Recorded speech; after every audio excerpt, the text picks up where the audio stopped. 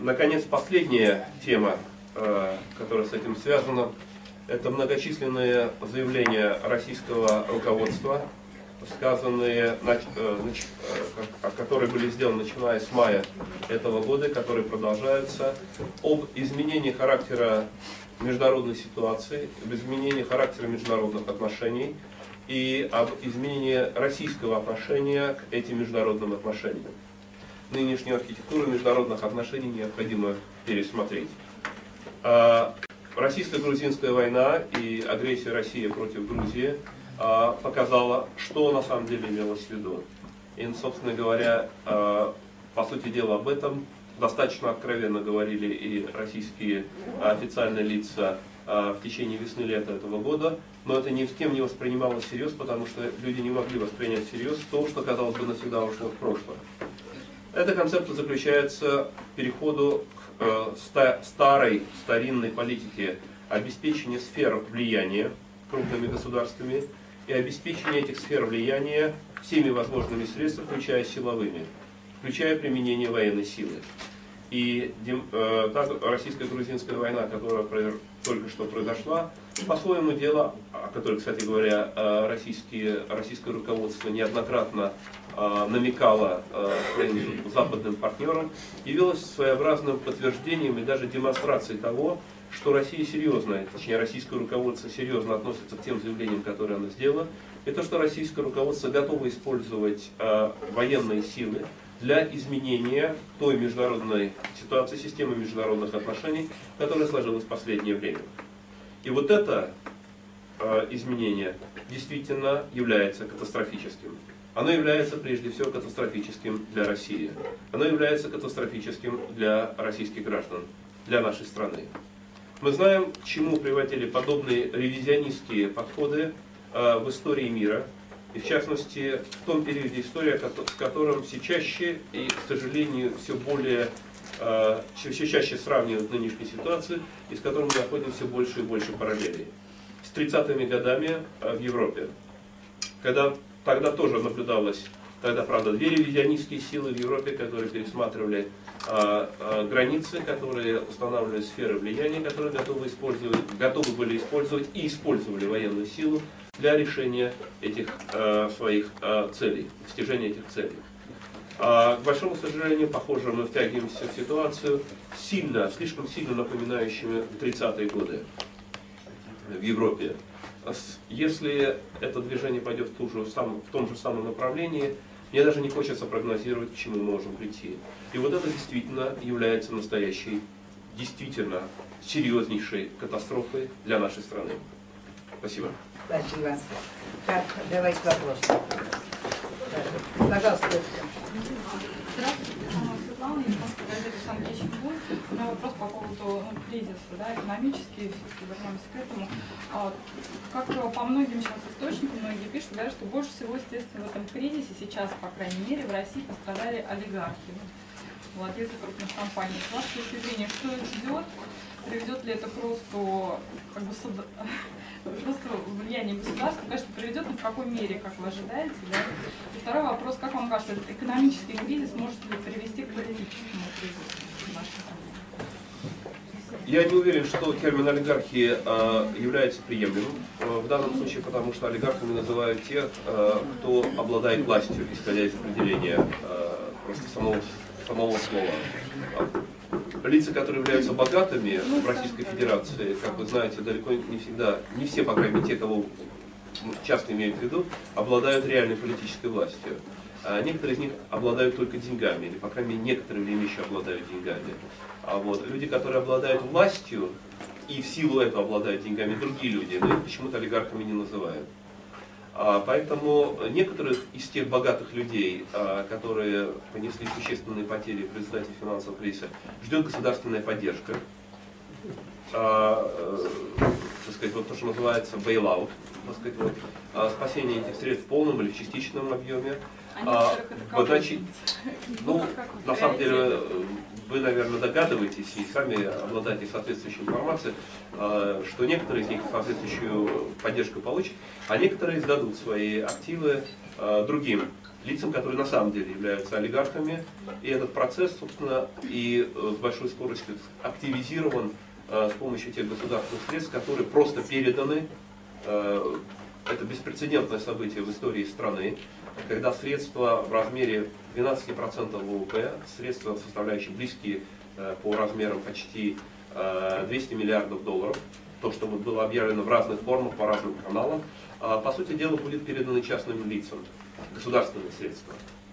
А для многих из вас не является секретом, что я, скажем, являюсь, являлся, являюсь достаточно большим противником разнообразной популистской политики, а, раздачи средств кому бы то ни было. Но должен сказать, что а, распределение государственных средств, в том числе и средств, которые накапливаются страной, равным образом для всех граждан страны, является пусть не самым лучшим, но гораздо менее неприятным а, вариантом использования этих средств. Передача же этих средств очень узкой группе людей, причем эта группа действительно является чрезвычайно узкой, и тем более для э, перераспределения активов, перераспределения собственности, установления монопольного контроля э, за российской экономикой, это совсем другие вещи, совсем другие, другие действия. Спасибо, пожалуйста. Студентское телевидение, извините. Вопрос вот такой, что вы в конце сказали, что война не закончена, э, есть другие цели, кроме вот того, что территорию там Абхазии, Осетии несколько СССР. Ожидаются ли какие-нибудь провокации, что большая цель целиком вся территория Грузии, кроме, допустим, смены режима? Какая самая большая цель, которую ставит перед собой руководство России? А, вы знаете, я не могу прогнозировать в данном случае, потому что а, это надо, наверное, руководство России спросить. Но мы можем судить, по крайней мере, в данном случае мы пытаемся реконструировать. Э, здесь никто не обладает вот, знанием, никто не смотрел секретные документы. Если бы смотрел секретные документы, точно об этом бы не говорил. Мы занимаемся только тем, что э, на основе открытых документов, документов, которые известны всем, которые открыты Э, который мы можем анализировать, сопоставлять, сравнивать, э, э, выявлять, где находится дезинформация, а такой, кстати говоря, немало, и должен сказать, есть с разных сторон, а, вот, анализировать эту информацию и делать соответствующие выводы. Что мы можем сделать? Какой мы можем сделать вывод? Совершенно беспрецедентная по совершенно неприемлемости лексика, использовавшаяся и используемая э, российскими руководителями в адрес грузинского руководства в течение двух э, с лишним последних месяцев, показывает высокий, совершенно беспрецедентный уровень фрустрации такого разочарования и, прямо скажем, обозленности в связи, видимо, с тем, что тот план, план А, назовем его, который имело российское руководство в самом начале, был сорван и не был выполнен. И в силу того, что пришлось э, дать тот приказ, э, на который, собственно говоря, которого никто не ожидал, его не ожидали в войсках, потому что в войсках э, везде были распространены там, документы, что мы идем на Тбилиси э, из Осетии и идем на Кутаиси в Абхазии. Собственно, две цели были так и объявлены. А, значит, и даже несмотря на соответствующий приказ, несмотря на то, что приказ был выдан 12 августа, несмотря на это, после этого движение российских войск, естественно, как мы знаем, продолжалось. И лишь совсем недавно э, часть российских войск э, покинула часть грузинской территории. А, поэтому вот это ощущение фрустрации, оно сохраняется. Дело в том, что за последние четыре с половиной года, и для вас это не является большим секретом, российское руководство применяло разные методы для дестабилизации грузинского режима.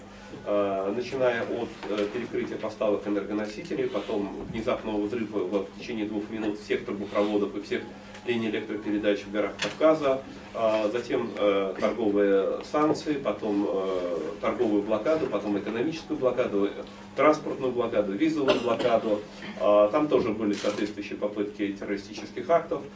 Наконец, военные действия. И несмотря на весь этот широчайший э, набор инструментов, э, одна из важнейших целей до сих пор не выполнена. Но остается только подумать, какие еще инструменты остались, э, вот, и какие инструменты в этой ситуации могут быть использованы. И, собственно говоря, э, вот в вашей стране, в Грузии, в общем, об этом э, не скрывают, о том, что ожидают соответствующих мер, и даже вроде говорят, какие-то там э, признаки этого наблюдают. Это первое. А это если мы посмотрим. С другой стороны, э, в общем, о том, что будет война, э, в общем, может быть, Грузия этого не знала, потому что до поздней ночи 7 августа никто там про войну не говорил. Если же вы посмотрите, я очень рекомендую всем э, участникам вот нашей встречи просто зайти на ресурсы осетинские, Южной Осетии. Государственный комитет по информационной политике Южной Осетии, Республики Южной Осетии, Осинформ, э, осетинское радио, они все лежат э, в интернете, а также на блоге э, осетинских э, блогеров вы увидите, что с конца июля везде идет один и тот же. Будет война, обязательно будет война, мы готовимся к войне, мы дойдем до, до Тбилиси. И самое главное, чтобы только 58-я армия нас не бросила, а нас поддержала. Это просто вот сплошняком. Вот идите, это не 8 августа, это не э, когда-то, это начинается как минимум там, э, с июля этого года. А, от своих личных впечатлений э, вот, пребывания э, в Южной Осетии э, много чего было интересного, но я бы сказал так, вот есть три тезиса, которые, прямо скажу, запечатлелись как бы вот в моей памяти. Три тезиса, которые я слышал лично, непосредственно от вот тех коллег, с которыми мы встречались там в Южной Осетии. Тезис первый. Мы выгнали грузин из грузинских анклавов в Южной Осетии. А, мы разрушили их дома и заняли их земли. Это хорошо, теперь это наше. Люди говорили совершенно открыто, откровенно, прямо, а, независимо ничего. Это первый тезис. Второй тезис. Как жаль, что нам не дали зайти до Тбилиси. И третий тезис а, заключался в следующем. Он касался возможных там предположений, там, не мной сделанных э, других людей, о том, что, возможно, там российские войска обстреливались с Хинвали. Э, там, либо градами, как теперь подтвердилось, э, либо авиацией, что тоже очевидно подтвердилось. Вот, э, ответ был такой, если бы русские что-нибудь тут сделали, мы бы их вырезали. Это цитата. Должен сказать, что эта цитата прозвучала из уст очень высокопоставленного лица э, Республики Южная Осетия. Поэтому э, я бы сказал так, сегодня э, эта война не закончена, это лишь один из этапов, э, и у нее, вне всякого сомнения, будет продолжение. Э, я бы сказал, что российские войска сейчас в Южной Осетии, находящиеся там, как известно, в нарушении всех принципов международного права и шести пунктов плана Саркози, но являются своеобразным таким э, ножом, представленным к горлу Грузии. Я бы такое вот сравнение использовал. И э, это уже зависит от усилий очень многих сторон э, для того, чтобы вот как этот э, нож будет использован. Спасибо. Так, пожалуйста, ваш вопрос. А, скажите, пожалуйста, вот если, как мы поняли, а, вы говорите, что российское правительство использует э, фондовый кризис э, в целях каким-то образом сделать перераспределение в национальной э, экономике, да, а не происходит ли то же самое в Соединенных Штатах Америки? То есть не используется ли а, тот самый финансовый кризис в чьих интересах? Нет, вы знаете, конечно, э, любой кризис это всегда перераспределение активов. Это всегда перераспределение собственности между различными Э, собственниками. Но если вы посмотрите, э, я так понимаю, ваш такой подспудный вопрос, что, может быть, российские власти делают то же самое, что делают американские власти, серьезно не отличаются.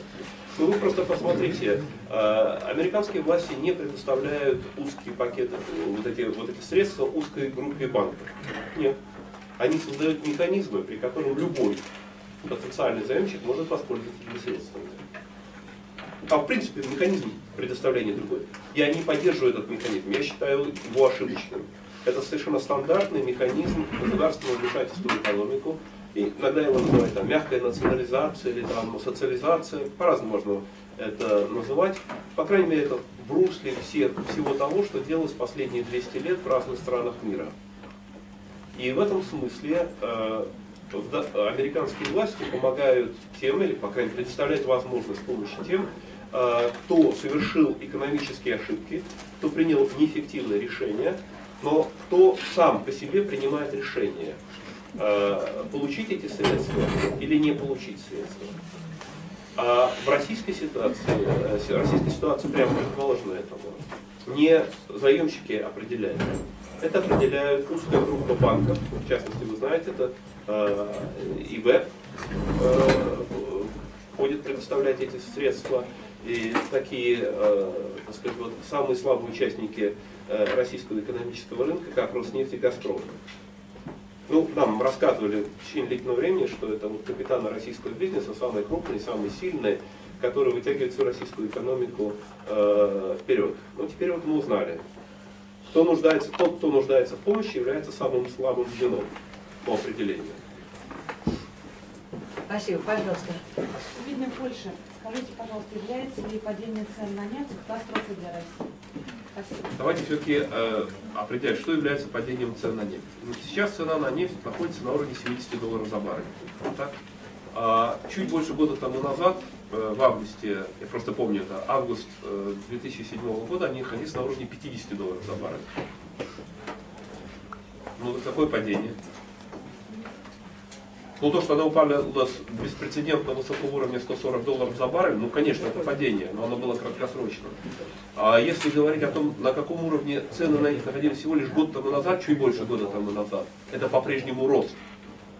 Если же мы сравним эту цену на нефти э, со среднегодовой ценой на нефти, которая наблюдалась последние э, даже 10 лет, не говоря, что 20, 30 лет или 160 лет, э, 140 лет, в течение которых добывает нефть, то нынешняя цена на нефть по-прежнему находится существенно выше всех этих среднегодовых трендов.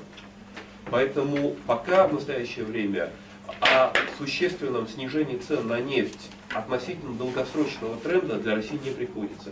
Россия по-прежнему находится в чрезвычайно благоприятном положении относительно долгосрочных трендов. Спасибо. Так, пожалуйста. И еще я просто хотел бы сказать, поскольку про э, нефть сказали, извините, Юля, одну секундочку, должен сказать, что если мы, вы, вы или мы, или все вместе посмотрим на динамику хотя бы фондовых индексов, или динамику экономического роста, или динамику основных экономических показателей стран нефтеэкспортеров, то выяснится, что вот это объяснение, которое мы иногда слышим, что э, российские экономические проблемы или российские финансовые проблемы вызваны падением цен на нефть, это все улетает просто. А под этим не остается никакого основания. Потому что многие нефтяные страны, многие страны нефтеэкспортеры э, имеют совершенно другие показатели э, развития фондового рынка. Некоторые из них, ну вот сейчас они уже в октябре перестали расти, а некоторые росли в течение третьего квартала. Я приводил этот пример уже. Э, одной из нефтяных стран является, например, нефтеэкспортеров Вьетнам. И понятно, что Вьетнам является экономикой меньшей, менее развитой, э, более, э, так сказать, вот, э, подверженной различным кризисам. Что происходит в Вьетнаме? В Вьетнаме за третий квартал э, фондовый индекс вырос на 33%. В России он упал на 45%. Две нефтяные страны. Вопрос, какое отношение цена на нефть имеет к падению фондового рынка в России, если э, в, э, в Вьетнаме он вырос? Если мы посмотрим, в каких странах сегодня, вот даже сегодня, на 17 октября, нету э, кризисов фондового рынка. Среди них есть Бахрейн и среди них есть Кувейт. Две страны крупнейшие нефтеэкспортеров относительно размеров национальной экономики, э, численности населения. У них только в октябре появилось незначительное снижение фондовых индексов. А до этого у них либо колебал, либо были колебания относительно одного уровня, либо даже был некоторый рост. Это еще раз показывает, что проблемы, с которыми сталкивается э, сегодняшняя российская экономика, э, имеют происхождение не за пределами нашей страны, или, по крайней мере, в очень небольшой степени за пределами нашей страны. Это прежде всего наши собственные проблемы, прежде всего проблемы, связанные с действиями российских властей. Спасибо, пожалуйста, Гаспар. А, У меня такой вопрос. А, Вы сказали, что ночью с 1 августа начинают, начали переброс а, ополченцев и а, э, военных российских на территорию Южной Осетии. Первый вопрос, откуда эта информация? И второй вопрос, э, если эта информация вообще имелась, тогда почему действия Саакашвили просто не объяснил, зачем он тогда с меньшей численностью группировки пошел э, на Цхинвале? Значит, первое. м, эвакуация началась 2 августа, э, официальное, э, официальное признание э, перехода добровольцев в кавычках на территории Южной Осетии фиксируется с 3 августа. Это официальное. А неофициально можно догадываться. Что касается российских, э, нахождения российских войск, то э, опубликованы, они находятся, пожалуйста, в интернете, все в открытом доступе, э, сообщения целого ряда российских офицеров о том, что они находятся уже, просто цитирую, в течение недели на, в горах и холмах вокруг Схинвали и видят, как происходит, каждый день происходят перестрелки. А по целому ряду вот данных, которые сейчас э, доступны, а, вот, идентифицированы, по крайней мере, четыре российские воинские части, а, подразделения которых находились на территории Южной Осетии до 7 августа. А, опубликованы э, перехваты телефонных э, переговоров э, на э, Рокском перевале в ночь с 6 на 7 августа, когда проходила одна из воинских колонн, э, включавшая бронетранспортеры, танки и грузовики российские военные, э, которая прошла на территории Южной Осетии. А в ночь с 7 на 8 августа двигалась следующая колонна, а, как выяснилось потом не одна колонна, а несколько колонн. А, В данном случае грузинская разведка смогла зафиксировать лишь часть э, переходивших войск а, вот, в размере 150 единиц. А Утром, э, как в 5 часов 30 минут утра, когда расцвело, и когда грузинский самолет-разведчик э, оказался на территории э, около Рокского перевала, он зафиксировал, что от Рокского перевала до Джавы, а это порядка 40 километров, вся дорога, вся ущелье забита войсками и техникой российскими. А, Нет технической возможности а, направить такое количество войск, даже если бы эти войска дежурили на перевале и только ждали а, вот, наступления грузинских войск. Они начали движение до того. Это просто технически подтверждается. Что касается решения грузинских властей э, начинать операцию, э, как говорится, э, есть разные точки зрения, есть э, и в Грузии идет, кстати говоря, очень, э, кстати говоря, вот отличие демократической страны, пусть даже не совершенно демократической страны, но демократической страны, идет очень серьезное обсуждение того, насколько оправданными были действия грузинского руководства. И грузинская оппозиция э, очень критически относится к грузинскому руководству за эти действия. И многие из них э, выступают и критикуют. Нино Бурджанадзе опубликовала свои 43 вопроса э, э, Михаилу Саакашвили относительно э, этих решений.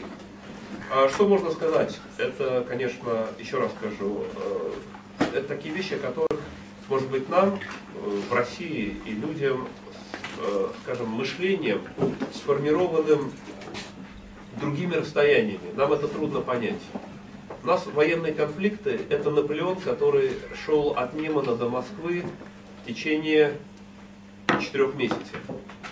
Или, э, значит, вот э, гитлеровские войска тоже двигались от э, Бреста до Москвы в течение тоже там четырех месяцев. А в маленьких странах расстояния другие, и мышление, и политическое, и геополитическое, и военное сфор- сформировано другими расстояниями. Расстояние от Схинвали до Гори 27 километров. И на машине проезжаешь за 20 минут. На танке за час.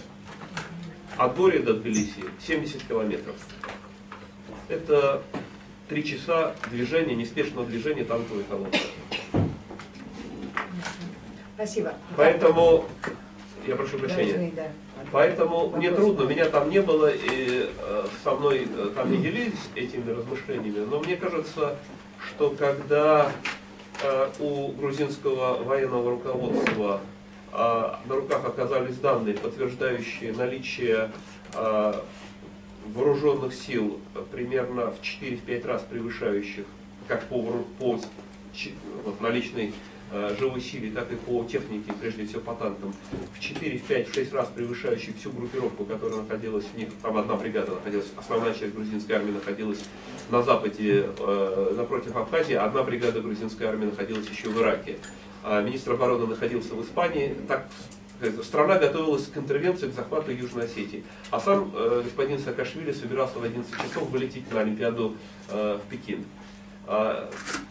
Как выяснилось и как, собственно говоря, события потом показали, у грузинских военных не было реального плана.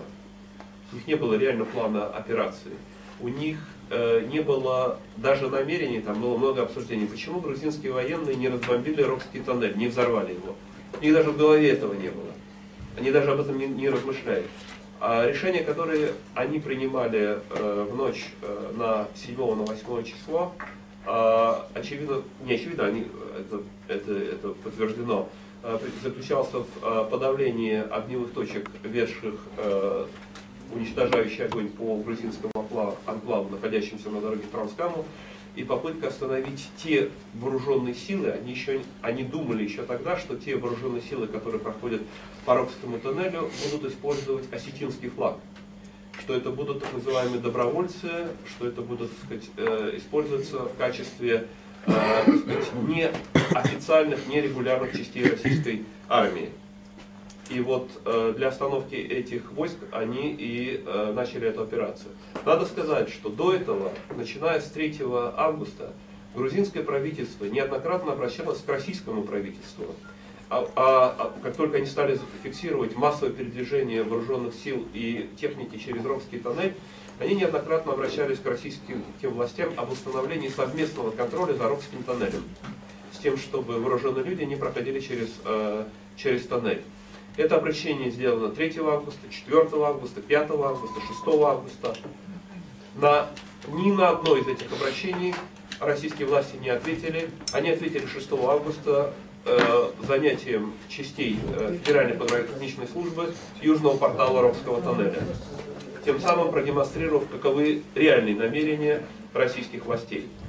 И несмотря на то, что грузинские власти неоднократно обращались э, и в ООН, и в Европу э, с призывом обратить внимание на то, что происходит на границе, ответом со стороны Европы и Запада было одно. Никто не собирается воевать с Россией из-за Грузии. И по сути дела для грузинского руководства, грузинское руководство было поставлено перед фактом. Либо они э, сдаются, примерно так же, как Эдуард Бенеш в 1938 году сдал студентскую область Чехословакии. Ну, история знает, э, что произошло после этого. Либо они будут делать то, что они смогут сделать своими силами.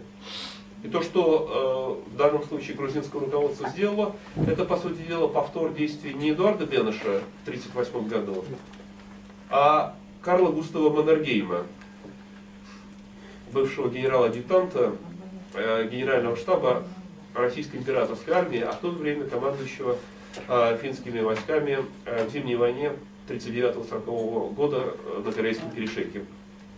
Андрей Николаевич, если можно, короче, отвечать на вопрос, у нас другое мероприятие еще есть, и очень много вопросов. Пожалуйста, не, немецкая волна, да? Стороны, конечно, а, монополизация финансового банковском секторе, которая сейчас происходит, это есть э, катастрофа, как называется. С другой стороны, 1100 банков, которые работают на территории России, и часть из которых, ну, очевидно, не являются частными, это тоже это другая пропасть. А, по вашим оценкам, кстати, ряд экономистов сказали, что неплохо было бы вычистить, пользуясь кризисом, это возможно сделать. По вашим оценкам, так ли это? Можно ли вот сейчас, используя кризис, все-таки навести какой-то порядок в банковском секторе? Знаете, на, это, на это невольно хочется ответить словами э, российской э, э, классики. А судьи кто? Кто будет, кто считает? Кто честный, кто нечестный? Кого надо вычищать, а кого не надо вычищать? Кто это может? Кто, кто обладает такой, такими полномочиями? Кто обладает такими ресурсами? Когда, конечно, господин Иванов делает заявление, что, значит, хорошо бы там почистить, то это понятно, потому что отражает его склонность э, мышления. А какое отношение это имеет э, к экономике? Вычищают экономический кризис, вычищают экономические силы. Если ты сделал неверное решение, если ты не можешь э, осуществить эффективную инвестицию, экономика тебя наказывает. Но это оказывает не вице-премьер Сергей Иванов или другой вице-премьер, или какой-то иной. Это делает кризис. И поэтому как раз вмешательство властей, помощь одним своим или нашим, и вычищение других, это означает как раз осуществление той самой, повторение той самой э, политики, те самые действия, которые российские власти осуществили в политическом секторе э, России. Зачистка одних и помощь другим, своим и нашим. Спасибо. Пожалуйста, Ёшка. Можно я? Софья Болотина, New Times. Я просто понять хочется. Вы очень много сказали про российскую агрессию, в том, что касается, касалось Грузии. И очень мало сказали про грузинские цели. Вот просто хочется вашу позицию понять. Это все-таки Россия напала на Грузию, а Грузия оборонялась, вы так считаете? Знаете, есть, э, вот для ответа на ваш вопрос надо просто посмотреть, а, какова а, государственная граница Российской Федерации, где она пролегает. И какими документами регулируется использование российских вооруженных сил за пределами Российской Федерации. Являлась ли э, грузинская территория, вообще Грузия, признанным независимым, самостоятельным, суверенным государством? Признавались ли грузинские э, границы, государственные границы Российской Федерации? Ответ. Признавались. Все время, вплоть до 8 августа и вплоть до 26 августа 2008 года. Если вы посмотрите на все документы, принятые а, и объявленные Российским Министерством иностранных дел, российским правительством, российским президентом, кем угодно, территориальная целостность и суверенитет Грузии, включая и над этими регионами, признавалась Российской Федерацией, так же, как и всеми другими государствами, вплоть до 26 августа 2008 года. Согласно Уставу Организации Объединенных Наций, использование вооруженных сил любого государства, независимо от того, какими целями это мотивируется, признается агрессией. И согласно определению э, Устава Организации Объединенных Наций, действия Российской Федерации против Грузии являются агрессией. Ни один грузинский солдат не перешел на российскую территорию. Ни один, А бомбили ни один- Схинвали кто? Э, Схинвали является грузинской территорией и является территорией, находившейся под э, являющейся частью Грузии согласно международному Они праву. сами себя бомбили. Ну, секундочку. Нет. Согласно международному праву, признанному Российской Федерацией, признанным многократно российскими властями, Южная Осетия и Абхазия являются частью территории Грузии до тех пор, пока не признаны ИГОР. Поэтому еще раз скажу. Грузинские войска не переходили российскую границу, а грузинские летательные аппараты не пересекали российское воздушное пространство, не бомбили российскую территорию и так далее. Грузия агрессии против России не осуществляла. Ну, я не против агрессии. Так, давайте Нет, вы же спросили меня, да? Мы для того, Это чтобы ответить на этот вопрос, Андрей нет, нет, чтобы ответить на любой вопрос, мы должны оп- опираться на определенные документы. Что касается документов, документы есть. Есть устав Организации Объединенных Наций. И если вы посмотрите эти, эти пункты, как минимум пять пунктов устава Организации Объединенных Наций были нарушены, грубым образом нарушены российскими властями. Если мы посмотрим на Конституцию Российской Федерации, которая четко и недвусмысленно говорит, использование российских вооруженных сил за пределами э, страны осуществляется исключительно по решению Совета Федерации. Совет Федерации таких решений не рассматривал, такого решения не принимал. Еще. Это нарушение э, Устава ООН, это нарушение Конституции Российской Федерации. Наконец, а если не ошибаюсь, 7 июля 2008 года э, опубликована концепция э, внешней политики Российской Федерации. Она висит на сайте президента Российской Федерации, по-прежнему висит. Там есть соответствующий раздел, называется «Миротворческие операции». Поскольку вот эта операция была названа миротворческой. В нем вы сейчас зайдете вот на сайт и прочитаете черным по белому. Российская Федерация участвует в миротворческих операциях на территории других стран только и исключительно по решению Совета Безопасности Организации Объединенных Наций. Я ответил на ваш вопрос? Да, спасибо, да, пожалуйста. Андрей Николаевич, вот мы к вопросам экономики, Кулиев, здание недвижимости и Аллстрит. Сейчас также обсуждается много вариантов помощи сектора строительства недвижимости. Как по-вашему, находится ли он в кризисе, страдали ли они от кризиса, и нужно ли помогать развивать таким образом? Спасибо. Ну, вы знаете, смотря что считать, опять-таки, кризисом, то есть определенное сокращение э, экономической деятельности явно наблюдается. А, Но если посмотреть на уровень цен, который э, наблюдается на рынке недвижимости, хоть в Москве, хоть по всей стране, он э, превышает, честно говоря, уровни цен в Европе и в Соединенных Штатах Америки. А Если мы считаем себя более богатыми, российские граждане, более богатыми, чем европейцы, Соединенные Штаты или американцы, то мы должны признаться, это не так. Это далеко не так. Поэтому одной из функций кризиса невольных является приведение цен на реализуемую продукцию в соответствии с платежеспособным спросом, в соответствии с реальностью, э, соответствующей экономики.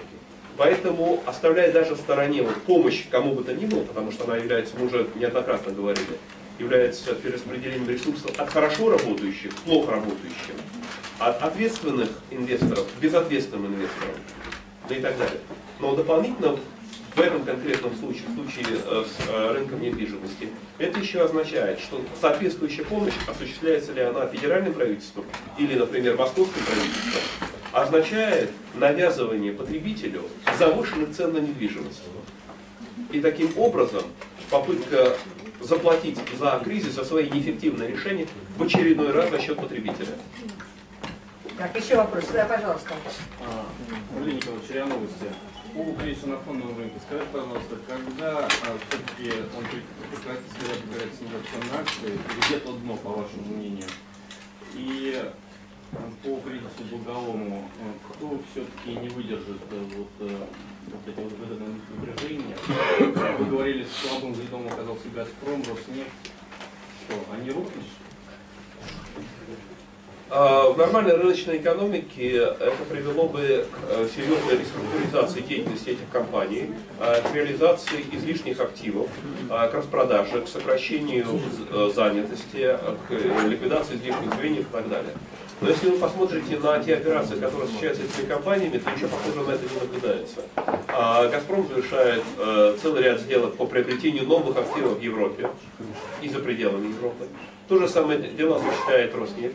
А тут недавно я увидел на сайте э, вот, «Газпрома» замечательное объявление о том, что объявляется тендер э, на, э, «Газпромом» на приобретение оборудования для конюшни «Газпрома», а также цветных автоматизеров и там чего-то еще такого. Ну, что, естественно, подтверждает глубину кризиса для «Газпрома», который необходимо поддержать вот, миллиардами долларов из государственных валютных резервов. А, Собственно говоря, если мы пройдемся по тем решениям, э, которые реально, если бы хотя бы даже у нашего правительства, оставляя в стороне даже общественность и, и даже наш парламент, но хотя бы у нашего правительства, хотя бы у него была бы информация о реальных расходах этих компаний. Но даже у них этого нет. А все-таки кто рухнет? А, Ну, по вашему мнению, есть свое мнение, кто Значит, не выдержит Ну, долгового? Понимаете, произойдет не то, что рухнет, произойдет, как вот э, коллега тут выразился, покинувший нас, значит, произойдет зачистка. И, к сожалению, видимо, э, защищать будут как раз эффективно работающих, но самостоятельно. Вот у меня, э, к сожалению, такие плохие прогнозы. А вот неэффективные, скорее всего, не рухнут. Спасибо. Пожалуйста. Что с рублем будет? А Что с рублем будет? Э, Значит, мы видим, что делает сейчас Центральный банк. Центральный банк, несмотря на наличие по-прежнему огромных валютных резервов, которые сократились э, за последние э, два месяца на 70 миллиардов долларов, это 12% от пика, который был, кстати, на 8 августа был пик валютных резервов. Тоже, кстати говоря, не случайное совпадение, очевидно. Э, Вот, э, значит, э, несмотря на такое сокращение, кстати, валютных резервов достаточно много. Правда, тут большие аппетиты обнаружились у соответствующих государ- государственных и квазигосударственных компаний, государств- квазигосударственных банков. Поэтому Центральный банк, страхуясь, принял решение приступить к девальвации, мягкой девальвации рубля, которую осуществляет последние два месяца, в результате которого рубль вот снизился, курс рубля снизился на 13%. Говорят, до 40 будет. А, Я не буду давать прогнозов. А, С моей точки зрения, а, значит, вот э, Центральный банк в данном случае страхует себя прежде всего и в том числе делает то, э, что может привести к восстановлению экономического и промышленного роста, о временном прекращении которого я говорил в самом начале.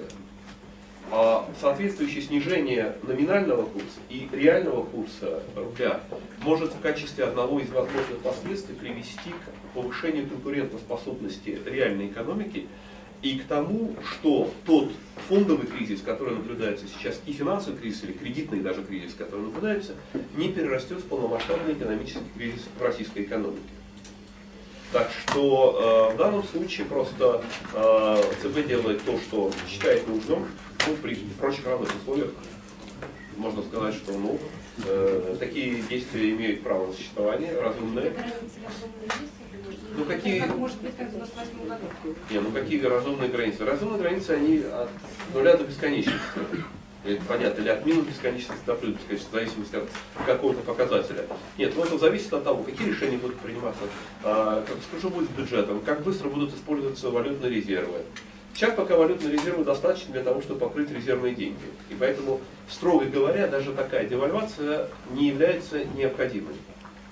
Но ЦБ, э, решивший быть э, более аккуратным, решивший на всякий случай, вы понимаете, с кем имеет дело, а вот, решил на всякий случай подстраховаться. Ну, видимо, делает правильно. Спасибо. Пожалуйста.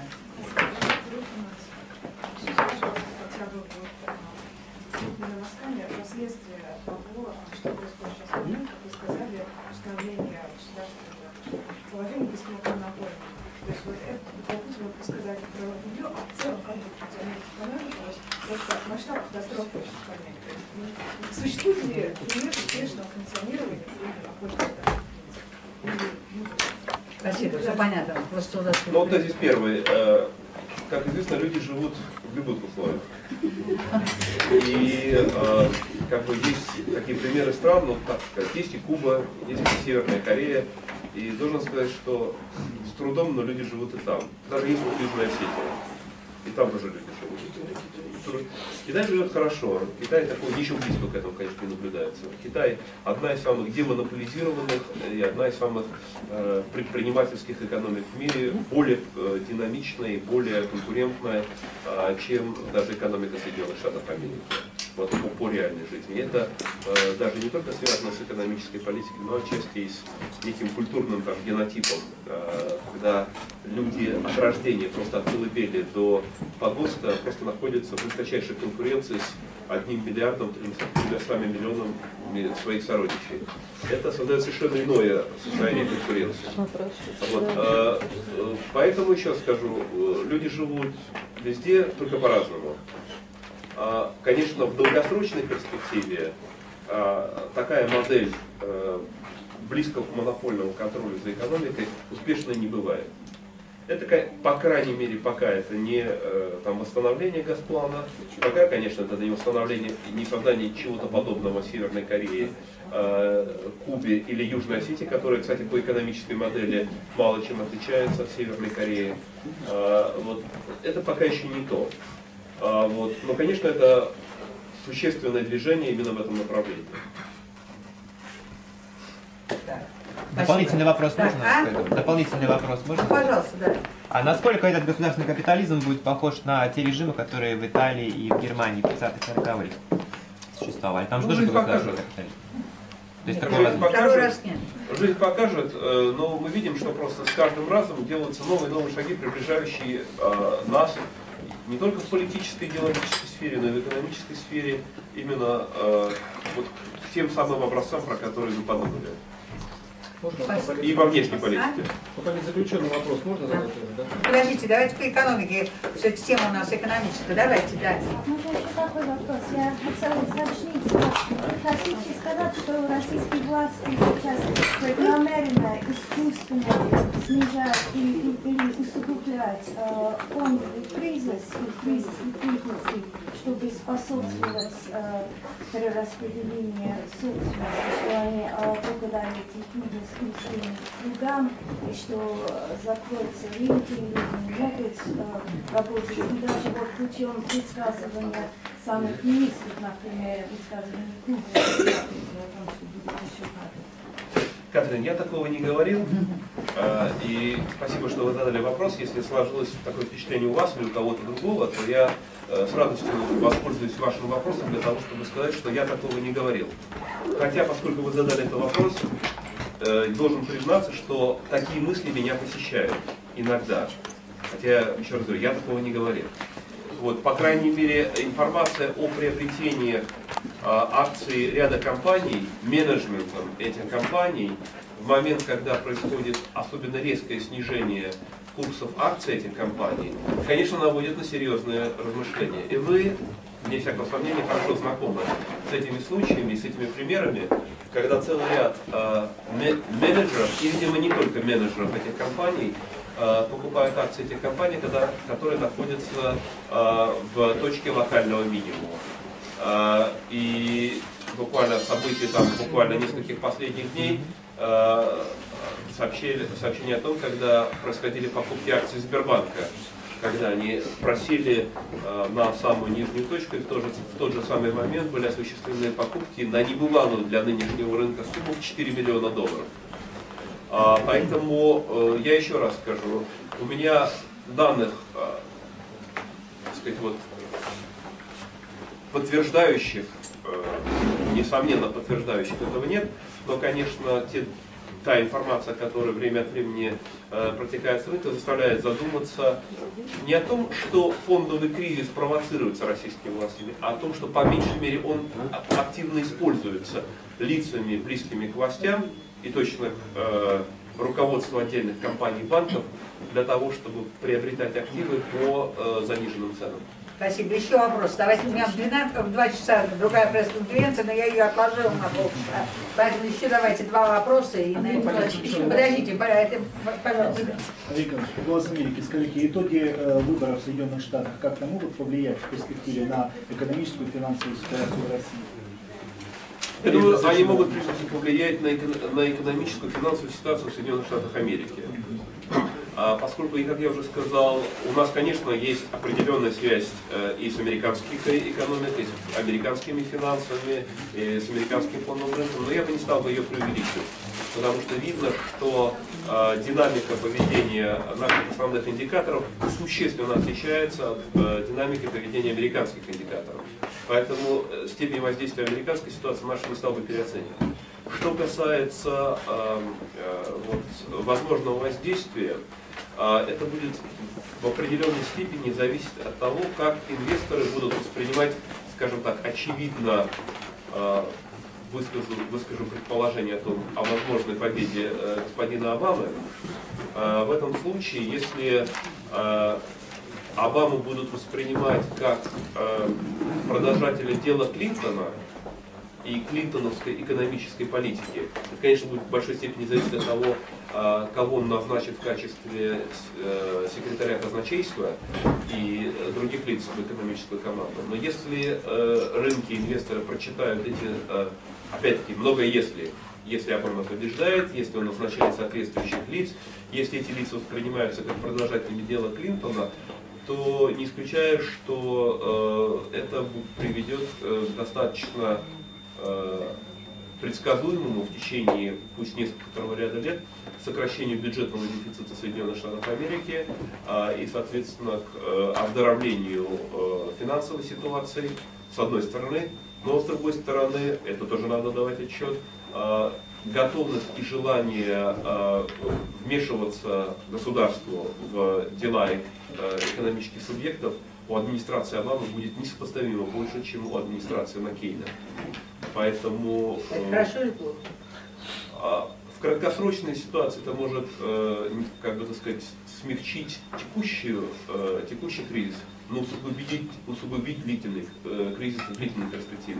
По сути дела, повтор, в известной степени, возможный повтор великой того, что происходило в Великой депрессии. Тогда просто администрация Гувера отвечала на небольшие вот, колебания все большим и большим и большим вмешательством. Причем падение экономики они воспринимали, что недостаточно вмешательства. Они вмешивались еще больше, экономика в результате падала еще больше.